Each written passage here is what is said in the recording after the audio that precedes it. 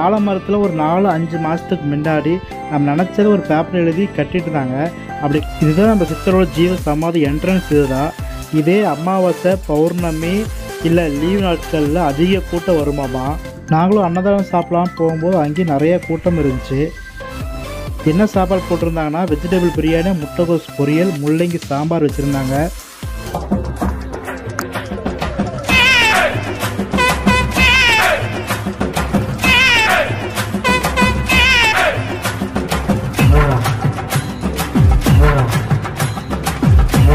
Hey guys welcome to my family இன்றைக்கி நம்ம எங்கே போகிறோம்னா கனகப்பட்டி சித்தர் கோவில் தான் இன்னைக்கு நம்ம போகிறோம் அந்த கோவிலுக்கு போகிறதுக்கு இப்போ வந்து நம்ம உக்கடம் வந்திருக்கோம். இப்போ நம்ம உக்கடத்துலேருந்து பழனி பக்கத்தில் இருக்க கனகப்பட்டி சித்தர் கோவில் வர எவ்வளோ சார்ஜ் பண்ணுறாங்க இங்கேருந்து அங்கே போகிறதுக்கு எவ்வளோ மணி நேரம் தான் பார்க்கலாம். நாங்கள் உக்கடம் போனோன்னா முன்னாடியே பழனி பஸ் இருந்துச்சு. நாங்கள் பஸ் ஏறிட்டோம்.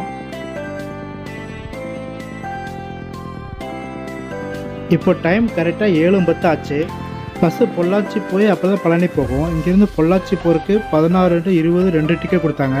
மொத்தம் முப்பத்தாறுரூவா இங்கேருந்து பொள்ளாச்சி போகிறதுக்கு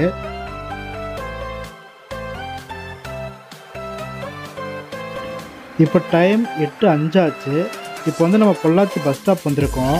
நம்ம உக்கடத்துலேருந்து பொள்ளாச்சி வரைக்கும் கரெக்டாக ஐம்பது நிமிஷம் ஆச்சு.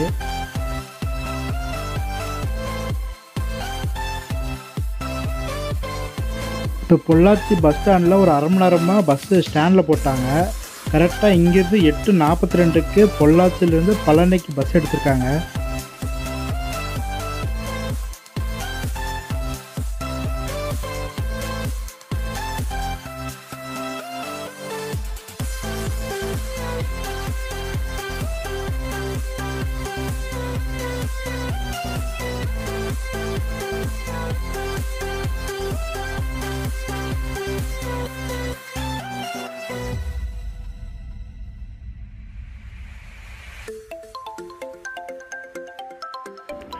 இப்போ பொள்ளாச்சியிலேருந்து பழனி வர டிக்கெட் சார்ஜ் எவ்வளோனா ஐம்பது ரூபா.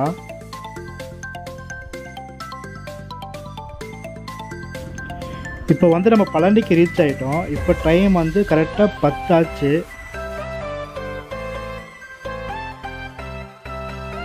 நாங்கள் பஸ்ஸு விட்டு இறங்கினேன்னு ஆப்போசிட்டில் கனகப்பட்டி கோயிலுக்கு போகிற பஸ் இருந்துச்சு. அதை நாங்களும் பஸ் ஏறிட்டோம். இப்போ வந்து டைம் என்னென்னா கரெக்டாக பத்து பத்தாச்சு. பழனியிலேருந்து நம்ம கனகப்பட்டி கோயிலுக்கு போகிறதுக்கு டிக்கெட்டு சார்ஜ் எவ்வளோன்னா பதினஞ்சு ரூபா வாங்கினாங்க. இப்போ உட்கறதுலேருந்து நம்ம கனகப்பட்டி சித்தர் கோயில் வர மொத்தம் நூற்றி அஞ்சு ரூபா ஆச்சு. ஒரு நூற்றி அஞ்சு ரூபா இருந்தால் போதும் நம்ம வந்து கனகப்பட்டி சித்தர் கோயிலுக்கு வந்து ப சாமி கும்பிட்டு போயிடலாம். இப்போ நம்ம பழனிலேருந்து கனகப்பட்டி கோயிலுக்கு வந்து நம்ம ரீச் ஆகிட்டோம் இப்போ டைம் வந்து கரெக்டாக பத்து முப்பது ஆச்சு. அங்கேருந்து வரக்கு இருபது நிமிஷம் ஆச்சு.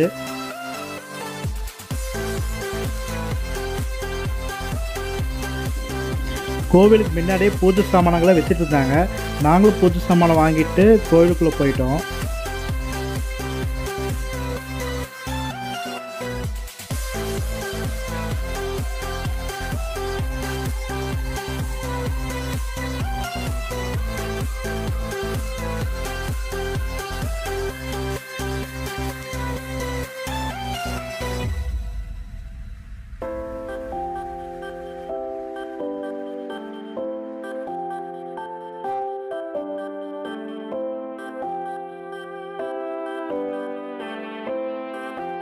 நாங்கள் பூஜை சாமான் வாங்கிட்டு உள்ளே போனோன்னா ஒரு ஆலமரம் இருந்துச்சு. ஆலமரத்தை எல்லாம் சுற்றி சாமி கும்பிட்டுருந்தாங்க.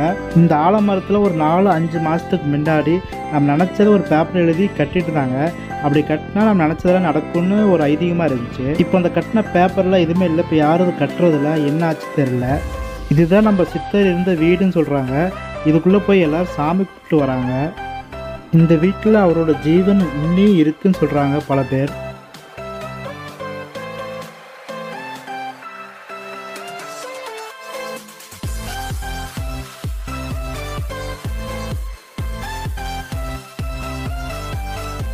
இங்கே தான் நம்ம சித்தரோட ஜீவ சமாதி இருக்கு உள்ள.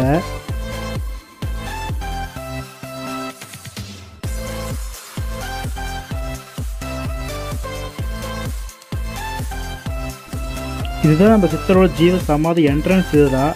பாருங்க எவ்வளோ கூட்டமாக இருக்குது இன்னைக்கு வெள்ளிக்கிழமைனால கூட்டம் கம்மியாக இருக்குது இதே அமாவாசை பௌர்ணமி இல்லை லீவ் நாட்களில் அதிக கூட்டம் வருமாமா?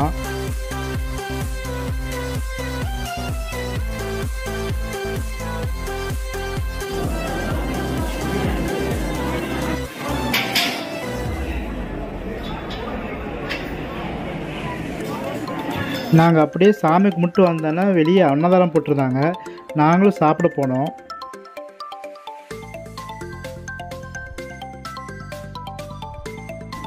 நாங்களும் அன்னதானம் சாப்பிடலாம் போகும்போது அங்கேயும் நிறைய கூட்டம் இருந்துச்சு.